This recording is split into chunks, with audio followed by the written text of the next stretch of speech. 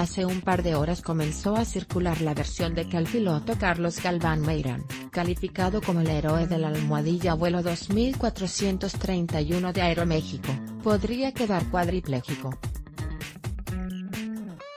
El pasado martes 31 de julio, el avión que piloteaba se estrelló tan solo unos minutos después de haber despegado en Durango.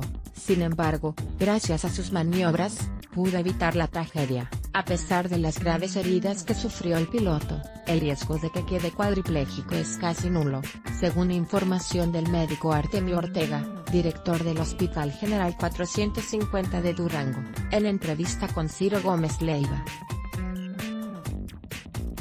Durante la misma entrevista, el médico aseguró que los cirujanos hicieron su mejor trabajo con el piloto Carlos Galván y que, aunque su recuperación es lenta, es favorable, por lo que la probabilidad de que quede cuadripléjico es baja.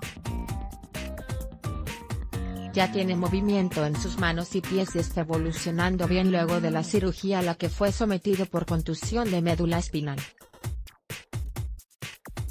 El piloto estará sometido a un largo proceso de recuperación y el mismo médico afirmó que por el momento no podrá caminar. Hasta ahora, la familia del piloto no ha emitido alguna declaración oficial al respecto, pero se espera que en las próximas horas lo haga.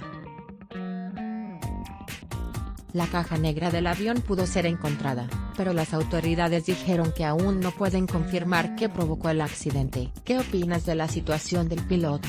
La silla rota y el sol de México anímate a comentar. Queremos saber tu opinión. Comentarios Powered by Facebook Comments.